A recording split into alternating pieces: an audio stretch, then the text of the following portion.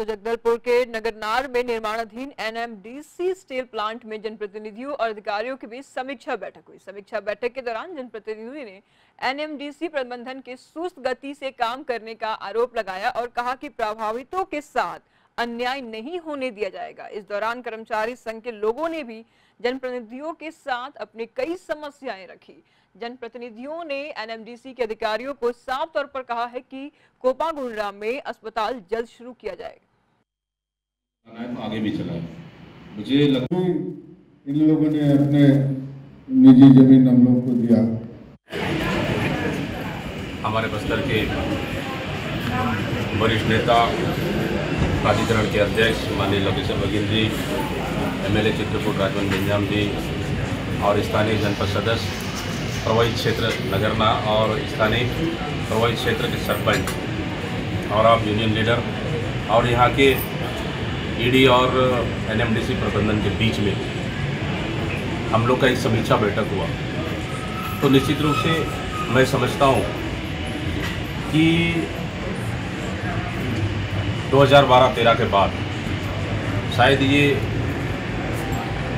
पहली बैठक होगी विधानसभा स्तरीय कमेटी आई थी, एक बैठक लेके चली गई। स्थानीय स्तर का ये पहली बैठक होगी मुझे लगता है। हम लोग बीच में अच्छा चर्चा हुआ। एक एक बिंदु पे चर्चा हुआ और डिटेल से चर्चा हुआ।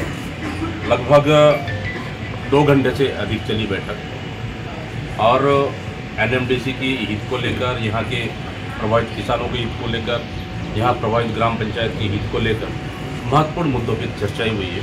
तो निश्चित रूप से कुछ कमियाँ हम लोग को दिखी भी। माननीय M L A Baghel ji ने भी सुझाव दिए।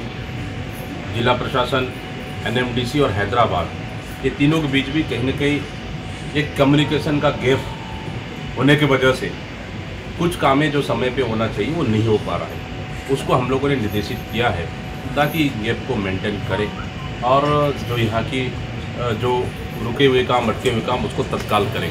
ये। और इसके अलावा आप लोग के संबंध में भी चर्चाएँ हुई है कि हम लोगों ने, हमारे मुख्यमंत्री माननीय भूपेश बघेल जी, उनका भी कहना है कि अगर मैकॉन चला रहा है इसको। तो कोई दिक्कत नहीं है, लेकिन इसको तीन साल के लिए नहीं, दस साल के लिए चलाए उनका भी सजेशन है और हम लोगों ने भी सुझाव रखा वहाँ पे कि इसको तीन साल नहीं, पाँच साल नहीं, इसको दस साल के लिए चलाना चाहिए। यह एन हैदराबाद प्रबंधन को और केंद्र सरकार को